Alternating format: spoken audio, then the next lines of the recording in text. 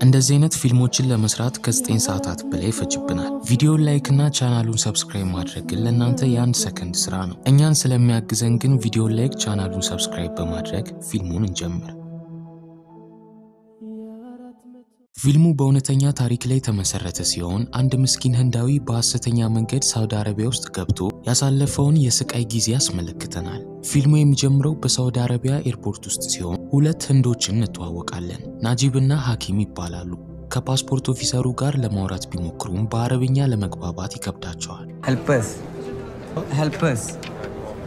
ፓስፖርታቸው check ከተደረገ በኋላ ከሰውየው ጋር ይለያዩና ወደዚህ እንዲመጡ ስፖንሰር ያደረጋቸውን ሰው መፈለግ ይጀምራሉ። ማንን መጠየቅ እንዳለባቸውና ወዴት መሄድ እንዳለባቸው እርግጠኛ አይደሉም። በስተመጨረሻ ግን አንድ ህንዳዊ ያገኙና ለስፖንሰራቸው ይደውልላቸዋል። ነገር ግን ሰውየው ስልኩን ሊያነሳው አልቻለም። ህንዳዊው ሰውዬ ዛሬ አርብ ስለሆነ ሳውዲ አረቢያ ውስጥ ስራ እንደማይሰራ ይነግራቸዋል። የደወሉት ደግሞ የድርጅት ስልክ በመሆኑ በዛሬ ቀን ክፍት አይደሉም። ስፖንሰራቸው እየመጣ እንደሆነ እንደሚያምንና መንገድ ተዘጋግቶበት ሊሆን እንደሚችል አያይዞ ይነግራቸዋል። ናጂብና ሐኪም በቀጣይ ከኤርፖርቱ ይወጡና ስፖንሰራቸውን በተስፋ መጠባበቅ ይጀምራሉ። ከቆይቶች በኋላ የሆነ ሰውዬ በትኩረት ሲያፈጥባቸው ይመለከታሉ። ሰውየው ናጂብን ስሙ አብደላ ከሆነ ይጠይቀዋል። ናጂብና ሐኪም ግን ምንም አልተረዱትም። በዚህም ሰውየው ይናደድና ሰድቧቸው ይሄዳል። ነገር ግን ተመልሶ ይመጣና ፓስፖርታቸውን በመውሰድ ከህንድ ድረስ ለሱ ለመስራት የመጡ ሰራተኞች እንደሆኑ ያረጋግጣል። በቀጣይ ወደ መኪናው የወስዳቸውና ናጂብና ሐኪም በስተመጨረሻ ስፖንሰራቸውን በማግኘታቸው ደስተኛ ይሆናሉ።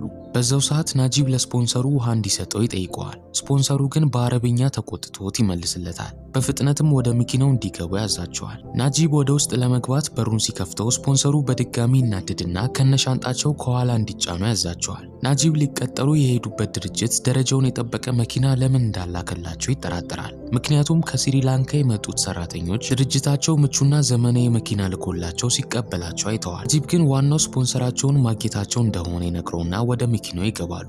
በመንገዳቸው ላይ በሰላም መግባታቸውን ለቤተሰቦቻቸው ለመናገር በምን ስልክ እንደሚደውሉ ሀሳብ ይሆንባቸዋል። ሐኪም ወደ ስፖንሰሩ መስኮት ጠገይልና ስልክ ያለበት ቦታ እንዲያቆምላቸው ይጠይቀዋል። ስፖንሰሩ ግን በስርዓት ካልተቀመጡ ትራፊክ እንደሚከሰው በመናገር ይጮህባቸዋል። ከብዙ ጉዞ በኋላ ሐኪም በድካም እንቅልፉ ይመጣል። በስተመጨረሻ በረሃ ላይ ከደረሱ በኋላ ስፖንሰራቸው ከመኪናው ይወርድና አቡ ካሊድ የተባለ ሰውዬን ይጠራል። በቀጣይ ሐኪምን ከመኪናው እንዲወርድና ናጂብ ደግሞ እዛው መኪና ውስጥ እንዲቀር ያዛል። ነገር ግን ናጂብ ሐኪምን ተከትሎ ይወርድና ሁለቱ አብረው መሆን እንዳለባቸው በተጨማሪ ደግሞ ለቤተሰቦቻቸው የሚደውሉበት ስልክ እንደሚያስፈልጋቸው ይነግረዋል። ስፖንሰሩ ግን በአረብኛ ይጮህበትና ካልተነገረው በስተቀር ከመኪናው እንዳይወርድ ያዘዋል። ናጂብ አንድም ቃል አልገባውም። ሐኪም ደግሞ ከአቡ ካሊድ ጋር በእንግሊዝኛ ለማውራት ይሞክራል። ነገር ግን እነሱም ስላልገባቸው ይጮሁበታል። አቡ ካሊድ በቀጣይ ሐኪምን ይወስደውና በሩን እንዳይወጣ ይዘጋዋል። ሐኪምና ናጂብ እየተደረገ ያለውን ነገር ማመን አልቻሉ። በዛው ሰዓት ስፖንሰሩ ናጂብን ይመተውና በግድ ወደ መኪናው አስገብቶት አፉን እንዲዘጋ ያደርገዋል። ሐኪም ማልቀሱን ቀጥሎ ናጂብን ይጣራል። ናጂብ በሌላ በኩል ወደ ሌላኛው የበረሃው ክፍል ይወሰድና ስፖንሰሩ ጃሰር የተባለ ሰውዬን ይጠራና እስኪነጋ ድረስ ናጂብን እንዲይዘው ነግሮት ይሄዳል። ናጂብ ለጃሰር ስልክ እንደሚያስፈልገው ለማስረዳት ቢሞክርም ጃሰር በአረብኛ ነገ በማለት ይመልስላታል። አሁን እንዲተኛ ቢያዘውም ናጂብ ግን እያወራ ያለውን ቋንቋ ምንም አልተረዳውም። ናጂብ በቀጣይ አንድ ደከም ያለ ሽማግሌ ይመለከታል። የለበሰው የተቀዳደደና የቆሸሸ ልብስ ሲሆን ሰውነቱ ለዘመናት ውሃ የነኳ አይመስልም። ናጂብ ሰውየው እንደሱ ህንዳዊ ነው ብሎ ይገምታል። በዚህም በህንድኛ የሚደውልበት ስልክ ካለና ውሃ በጣም እንደጠማው ይነግረዋል። ሽማግሌው ለናጂብ እዚህ የመጣበትን ምክንያት የሚያውቅ ከሆነ ይጠይቀዋል። እንዲጠጣ ደግሞ ወደ አንድ የውሃ በርሜል ይጠቁመዋል። ናጂብ ወደ በርሜሉ በማምራት በጣም ብዙ ውሃ ይጠጣል። ድንገት ግን አንድ ግመል ሲጠጋው በጣም ይደነግጣል።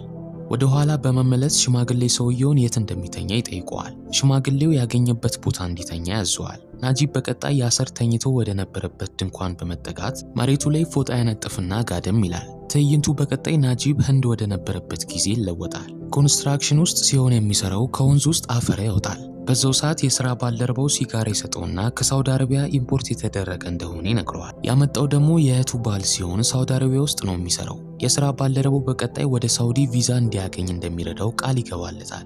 ናጂብ ቪዛውን ለማግኘት ስንት እንደሚያስወጣው ይጠይቀዋል። ምክንያቱም በሰዓቱ ምንም ገንዘብ ስለሌለው ቤቱን ለመሸጥ ይገደዳል። የሥራ ባልደረባው ግን ቤቱን አስይዞ እንዲበደርበት ይነግረዋል። ምክንያቱም አንዴ ሳውዲ ከደረሰ በኋላ ያንን ገንዘብ ለማግኘት ሁለት ወር ብቻ ነው የሚፈጅበት። ናጂብ ከስራ መልስ ከስራ ባልደረባው ጋር በመሆን ቪዛውን የሚያስጨርስለትን ሰው ለማግኘት ያምራሉ።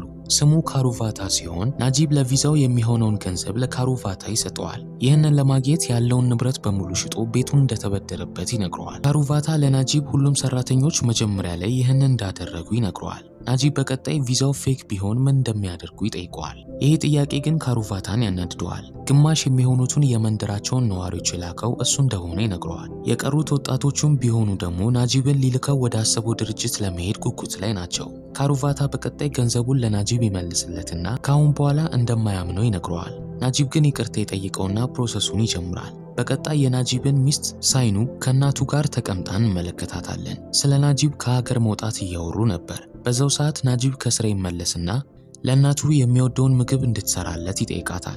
ሳይኑ ነፍሰ ጡር በመሆኗ ብቻዋን ጥሏት እንደሚሄድ ሲያስበው ያስጨንቀዋል። ትዕይንቱ በቀጣይ ወደ አሁኑ ጊዜ ይመለሳል። ያሰር ሲነቃ ናጂብን ያገኘው ከአጠገቡ ተኝቶ ነበር። በዚህም በአረብኛ ወደዚች ድንኳን ድርሽ እንዳይል እየጮህበት ያስወጠዋል። ምክንያቱም የእሱ መተኛ ውጪ በረሃው ላይ ነው።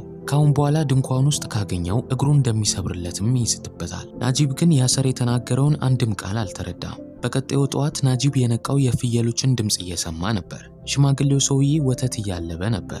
ሰውየው ወደ ስፖንሰሩ ወተቱን ይዞ እንዲሄድ ያዘዋል። ናጂብ ግን አረብኛ ማውራት እንደማይችል ረስቶታል። ናጂብ ረሃብ ላይ ስለነበር ግጥም አድርጎ ይጠጣዋል። ሽማግሌው ግን በድንጋጤ ይጮህበትና ወተቱ ለያሰር እንደሆነ ይነግረዋል። ናጂብ በቀጣይ ወደ ያሰር ያምራል። ያሰር ናጂብን በሩ ላይ ቆሞ ሲመለከተው እንዲገባ በእጁ ይፈቅድለትና ወተቱን ተቀብሎት ይጠጣዋል። ቀጣይ ወደ ህንዳዊ ሰውዬ እንዲሄድና እሱ ስራውን እንደሚያስረዳው ይነግረዋል። ናጂብ ግን የተናገረውን ነገር ምንም ባለመረዳቱ ባለበት ይቆማል። ይህ ግን ያሰርን ያናድደውና ካሁን በኋላ ምንም አይነት ህንድኛ እንዳያወራበት ይነግረዋል። ናጂብ በፍርሃት ወደዚህ የመጣው ለድርጅት ሊሰራ እንደሆነና ወደ ኤርፖርቱ እንዲወስደው እርዳታውን ይጠይቀዋል። ያሰር ግን ገፍትሮት ያስወጣውና ለሽማግሌው ሰውዬ ስራውን እንዲያስተምሮ ያዘዋል።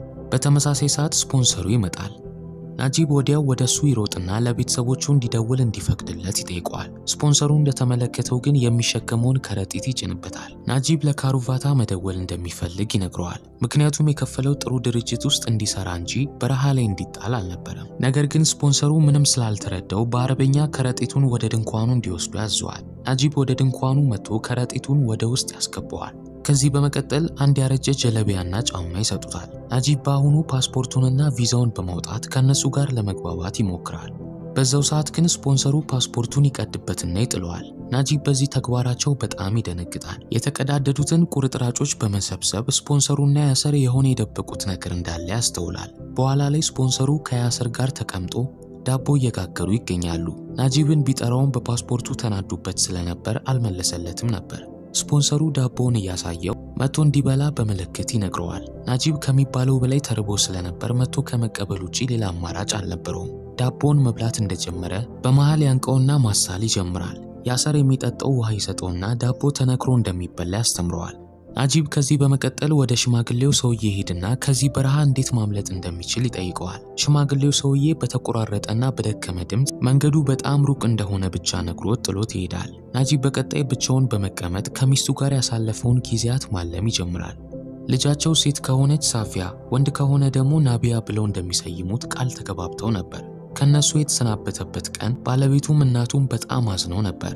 ናጂብ ከሀሳቡ ሲወጣ ከበረቱ አጠገብ ለመጸዳዳት ያምራል። ያሰር ውሃውን እየተጠቀመ እንደሆነ ሲመለከት ይጮህበትና ራሱን ለማንጻት ውሃ እንደማይከፍል ይነግረዋል። ናጂብ ከተጸዳዳ በኋላ ውሃ እንደሚያስፈልገው ለያሰር ለማስረዳት ይሞክራል። በዛው ሰዓት ግን ሽማግሌው ሰውዬ ለናጂብ ቀጣይ ለመጸዳዳት ከፈለገ አሸዋ መጠቀም እንዳለበት ይነግረዋል። በኋላ ላይ አንድ ለውሃ ድርጅት የሚሰራ ህንዳዊ ሰራተኛ የጃሰርን የውሃ በርሜል ለመሙላት ይመጣል። ናጂብ ከዚህ በረሃ ማምለጥ ስለሚፈልግ ይዞት እንዲሄድ ይለምነዋል። በዛው ሰዓት ስፖንሰሩ ይመጣና ከውሃ ባለሙያው ጋር መጨቃጨቅ ይጀምራል። የሚቆጣው ከናጂብ ጋር ስላወራ ሲሆን እንዲያመልጥ እንዲረዳው ከጠየቀው ይጠይቀዋል። ሰራተኛው ግን እንዳልጠየቀው ይመልስለታል። በዛው ሰዓት ስፖንሰሩ ናጂብን በያዘው ቄ ገርፈዋል። ናጂብ ግን ሊያስቆመው እጁን ሲይዘው ስፖንሰሩን ከመጠን በላይ አናድደዋል። ምን አይነት ድፍረት እንደሆነ ይጠይቀውና ወደ ድንኳኑ በመሄድ መሳሪያውን በማውጣት ናጂብን ያስፈራረዋል። ናጂብ ግን ለራሱ ለመከላከል መሳሪያውን ይይዝበታል። ስፖንሰሩ ግን ግንባሩን በመሳሪያው ይመተውና ገሎት በረሃው ላይ እንደሚቀብሩ ይዝትበታል።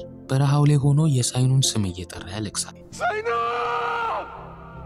ያን ቀን ምሽት ናጂብ ሽማግሌውን ሰውዬ ለግመሎቹ ሲመግባቸው ያገኘውና እዚህ መስራትና መኖር ከጀመረ ስንት ጊዜ እንደሆነ ይጠይቀዋል። ሰውየው ግን እዚህ በጣም ከመቆየቱ የተነሳ አይምሮውን ለቋል። በቀጣዩ ቀን ያሰር ናጂብን እስካሁን ድረስ ከእንቅልፉ ባለመንቃቱ ይቆጠዋል። ያሰር ፍየሎቹን ወተት እንዲያልብለት ቢጠይቀውም እንዴት እንደሚታለብ ግን አያውቅም። ቢሆንም ግን የያሰርን ትዕዛዝ መቀበል ግዴታው ስለሆነ ፍየሎቹን ለማለብ ይሞክራል። ነገር ግን ፍየሏ ገፍትረው ትጥለዋለች። ናጂብ ሽማግሌው የት እንደሆነ ሲጠይቀው ያሰር ጥያቄውን ሳይመልስለት ይሰድበዋል። ያሰር ከወተቱ ቀጥሎ ሌላ ስራ ስለሚጠብቀው ቶሎ ቶሎ እንዲያልብ ያዘዋል። ካለበለዚያ ግን ከባድ ቅጣት ይጠብቀዋል። ናጂብ አማራጭ ስላልነበረው ፍየሎቹን በድጋሚ ለማለብ ይሞክራል። ከቆይቶች በኋላ ሁለት ፍየሎች ሲጣሉ ይመለከታቸውና ሊያገላግላቸው መሃላቸው ለመግባት ይሞክራል። ይህንን በሚያደርግበት ወቅት ግን ፍየሎቹ ገፍትረውት ይጥሉታል። ህመሙን ለማስታገስ ጎንበስ ባለበት ወቅት አንደኛው ፍየል ሊዋጋው መስሎት ተንደርድሮ መጥቶ ራሱን እስኪስት ድረስ ይመታዋል። በዛው ሰዓት ስፖንሰሩ ይመጣና አየር ላይ መሳሪያውን በመተኮስ ፍየሎቹ እንዲበተኑ ያደርጋቸዋል። ናጂብ ላይ ውሃ በመድፋት ይቀሰቅሰውና የሚጠጣው በጣም ጥቂት የሆነ ውሃ ይሰጠዋል። በናጂብ ስለተናደደ ተነስቶ የተበታተኑትን ፍየሎች እንዲሰበስባቸው ያዘዋል። ይህንን ካላደረገ ግን ቀኑን ሙሉ ጠብታ ውሃ እንኳን እንደማይሰጠው ያስጠነቅቀዋል። ናጂብ በስንት መከራ ከወደቀበት ይነሳል። በዛው ሰዓት አንዲት ፍየል ትጠጋውና ህመሙና ስቃዩ የተሰማት ይመስል ሁሉንም ፍየሎች እየጮኸች ናጂብ ምንም ነገር ሳይለፋ ትሰበስብለታለች። ይህንን ያደረገችለትን ፍየል ያቅፋትና እያለቀሰ ያመሰግናታል። ናጂብ ከዚህ በረሃ ሳይወጣ ዓመታቶች አለፉ። መልኩም ሙሉ ለሙሉ ይቀይራል። ናጂብ አንድ ቀን መልኩን በመኪና ስፖኪዮ የማየት እድሉን አገኘ። ሙሉ ጺሙ አድጎ ፊቱ ደግሞ ጠቋቁሮ ነበር። በዛው ሰዓት ስፖንሰሩ ይመጣና መስታወቱን ሰብሮት ናጂብ ሁለተኛ መልኩን እንዳያየው ያደርገዋል። ናጂብ የመስታወቱን ስባሪ በማንሳት ጺሙን ለማቁረጥ ይሞክራል። ነገር ግን አልተሳካለትም። ወደ ፈጣሪው ቀና ብሎ ለየትኛው ኃጢአቱ ይህንን እንደሚቀጣ ይጠይቀውና ራሱን ለማጥፋት ራሱ ይሞክራል። በዛው ሰዓት ግን የሞተ አስክሬን እየተመገቡ ያሉ ጥንባን ሰዎችን ይመለከታል። ሲጠጋቸው ግን አስክሬኑ የሽማግሌው ሰውዬ እንደሆነ ይመለከታል። ናጂብ በጣም ነበር የደነገጠው። ጥንባን ሰዎቹን ከአስክሬኑ ለማራቅ ይሞክራል። ከዚህ በመቀጠል አረፍ ይልና እናቱ ሲለያዩ የሰጠችውን የምግብ ዕቃ ያሸተዋል። ሽታው ህንድ እያለ የነበረውን ጊዜ አስታውሰውና በረሃው ላይ ይሮጥና በተመሳሳይ ሰዓት ስፖንሰሩ ይህንን ይመለከታል። በግመሉም ያሳድደዋል። ብዙም ሳይቆይ መሳሪያውን ይተኩስበትና እግሩን ይመተዋል። ከግመሉ ላይ ከወረደ በኋላም ያለ ርኅራኄ ይደበድበዋል። ያን ምሽት ናጂብ ከፍየሎቹና ከበጎቹ ጋር ይታሰራል። ነገር ግን ራሱን መፍታት ችሎ ለማምለጥ ይሞክራል። ነገር ግን እግሩን ክፉኛ በመጎዳቱ ብዙም መራቅ አልቻለም። ውሃ በጣም ጠምቶት ስለነበር ፍየሎቹ ከሚጠጡት ውሃ ላይ ይጠጣል። በነጋታው ናጂብ እንደተለመደው ፍየሎቹን ይዞ በረሃው ላይ እየተጓዘ ነበር። ድንገት ግን መዝነብ ይጀምራል። ከፍየሎቹ ጋር በመሆን ከድንጋዮቹ ስር ይጠልላል። በዛው ሰዓት ትንሽዬ ዳቦ ከኪሱ ያወጣና ይመገባል። ዳቦዋ ምንም እንኳን ትንሽዬ ብትሆንም ለፍየሎቹ ያካፍላቸዋል። በዛው ሰዓት ከሩቅ እየመጣ ያለ የፍየሎች ስብስብ ድምፅ ይሰማል። ድምፁ ከየት እየመጣ እንደሆነ check ለማድረግ ይወጣል። ከፊቱ ግን ሐኪምን በማየቱ በጣም ነበር የተደሰተው። የሐኪምም ገጽታ ልክ እንደ ናጂብ ተቀይሯል። ሐኪም ለናጂብ አብረው አሁኑኑ ማምለጥ እንዳለባቸው ይነግረዋል። ተስፋ ያጣው ናጂብ ግን በተደጋጋሚ ለማምለጥ ቢሞክርም እንዳልተሳካለት ይነግረዋል። ከተወሰኑ ቀናት በኋላ ናጂብ ሐኪም መልእክት አስቀምጦለት ሲሄድ ይመለከተዋል። በዛው ሰዓት ግን ስፖንሰሩ ይመጣበታል። በዚህም ናጂብ መልእክቱን ሲወስደው እንዳያየው አርፎ መቀመጥ ነበረበት። ስፖንሰሩ እስኪሄድ ድረስ ጠብቆት መልእክቱን ለመውሰድ ይሄዳል። ሲያነበው ሐኪም የጻፈለት አለቃው ከናጂብ ጋር ሲያወራ አይቶት ክፉኛ እንደደበደበውና አብሮት የሚሰራ ጥቁር ሰውዬ እንደተዋወቀ ሊያስመልጣቸውም እንደሚረዳቸው እንደነገረው ጽፎለታል። ናጂብ ከብዙ ጊዜያት በኋላ ተስፋ ማግኘት ጀመረ። በኋላ ላይ ናጂብ ሐኪምንና ኢብራሂምን የተባለውን ጥቁሩን ሰውዬ ያገኘዋል። ኢብራሂምም ይቀበለውና ራሱን ያስተዋውቀዋል። ከተወሰኑ ቀናት በኋላ የአለቃቸው ሴት ልጅ ስለምታገባ ሁሉም ሰው ሰርጉ ላይ እንደሚገኝ ለናጂብ ይነግረዋል። ይህም አጋጣሚ ለማምለጥ ጥሩ ዕድል ይሆንላቸዋል። ከሰርጉ ቀደም ብሎ በነበረው ምሽት ላይ ናጂብ ከፍየሎቹ ጋር ታስሮ እንመለከተዋለን። አሰሪዎቹ ደግሞ እየደነሱና እየዘፈኑ ይበላሉ። በዛው ሰዓት አለቃው ወደ ናጂብ ቀረብ በማለት የሚበላው ቁራሽ ስጋ ይሰጠዋል። በነጋታው ያሰር ለሰርጉ ጉዞውን ይጀምርና ናጂብ ፍየሎቹን እንዲጠብቅ ያዘዋል። እስከ ነገ ጠዋት ድረስ ደግሞ አይመለስም። ያሰር ከሄደ በኋላ ናጂብ ውሃውን ከፍቶ ይታጠብና ጥማቱን ያስታግሳል። ሰውነቱን ውሃ የነካው ከብዙ ጊዜ በኋላ ሲሆን ስሜቱን ራሱ ረስቶታል። በቀጣይ መጀመሪያ ሲመጣ አድርጎት የነበረውን ልብስ ለመቀየር ያወጣዋል። ነገር ግን በጣም ስለከሳ ይሰፋዋል። ሱሪውን ለማሰር በቀጣይ ገመድ ይፈልጋል። በኋላ ላይ ከመሄዱ በፊት ግመሎቹንና ፍየሎቹን ይመግባቸዋል። ይህንን ሁሉ ጊዜ ከጎኑ ስለነበሩ ሲለያቸው ውስጡ እያዘነ ነበር። ከዚህ በመቀጠል ቦርሳውን ይዞ ከሐኪምና ኢብራሂም ጋር ጉዟቸውን ይጀምራሉ። ምሽት ላይ ሐኪም በጣም ደክሞትና ውሃ ጠምቶት ነበር። ኢብራሂም ወደ አንድ ድንኳን ገብቶ ውሃ እስኪሰርቅላቸው ድረስ ለናጂብ ከሐኪም ጋር እንዲጠብቁት ያዛቸው። ነገር ግን የድንኳኑ ባለቤቶች ሲመለከቱት ሌባ እንደሆነ በመገመት ይተኩሱበታል። ኢብራሂም ግን ናጂብንና ሐኪምን ይዞ ማምለጥ ቻለ። ቀጣዩ ጠዋት ናጂብ ሐኪምና ኢብራሂም እስካሁን ድረስ በረሃው ላይ እየተጓዙ ይገኛሉ።